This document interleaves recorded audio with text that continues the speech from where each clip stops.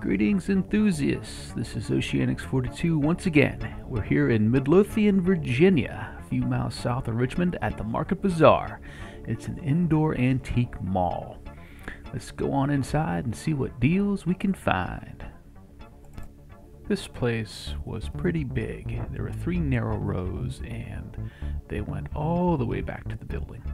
Must have been an old grocery store or uh, something like that, but pretty large. Lots of interesting things in the rows, a lot of antiques.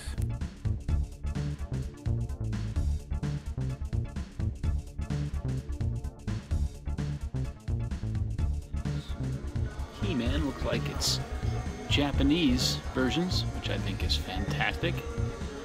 And that looks like newer Thundercats stuff.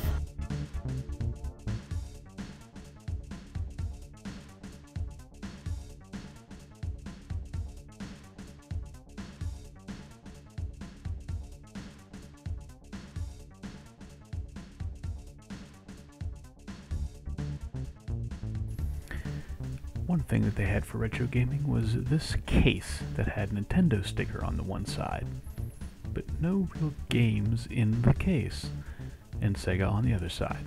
Nintendo and Sega battling out in the same display case, but sadly, no games to be found. This was an interesting find. Had some VHS tapes and an old Polaroid, which was great. Don't know why I didn't get this. I should have bought it. I really should have bought it.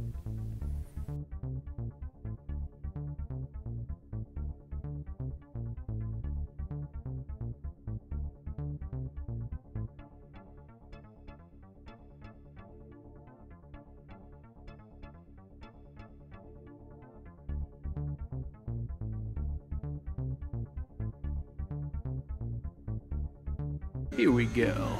Old cameras and stereo equipment.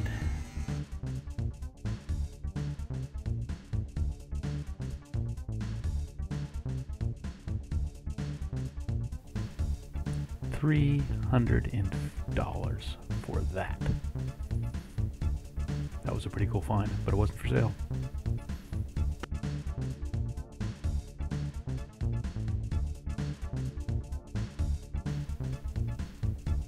Cool cameras. Lunch boxes. There were a lot of lunch boxes in there.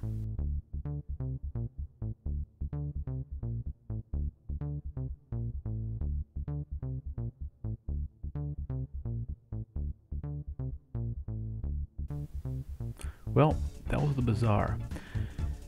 But the best find was actually something I went there originally to pick up from somebody else. Yes, these three Atari 400 800 carts Centipede, Pac Man, and Donkey Kong.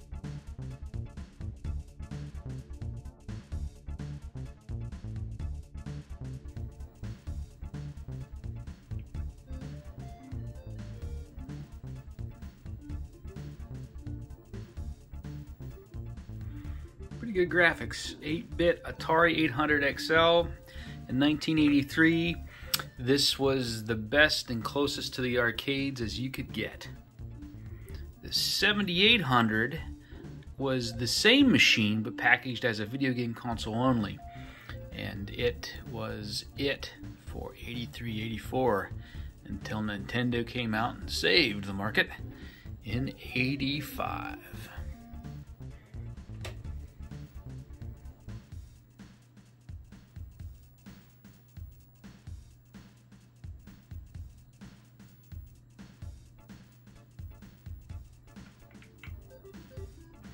Now, what's interesting here is that the 2600, long anticipated, I'm to try to play with one hand, anticipated the release of Pac Man. Pac Man was a crazy, crazy hit in the arcades. 2600 came out with Pac Man, and it was a notorious failure because of uh, practices at the time on Atari. Um, they did it really cheap. They did a really quick five week turnaround on the game, and it was junk. The game was just atrocious, even for the 2600.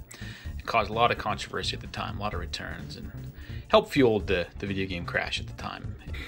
And so this port is actually closest to the arcade again on an 8 bit uh, machine in 82 and 1983, and uh, there just wasn't enough focus in the stores in regards to video games on the computers because Atari was trying to kind of get into the computer market. And They did it. They did it very well. I mean, these 8-bit machines.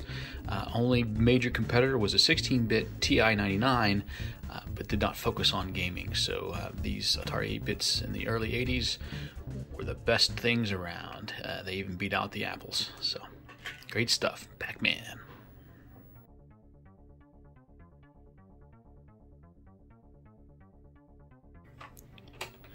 His last cart picked up Centipede. This is a absolute classic. And the camera's not doing the colors justice, just the way the lighting is in the room uh, with all these carts. But here we go Centipede. And I can't play with one hand. It's not to happen. All right. Thanks, everyone.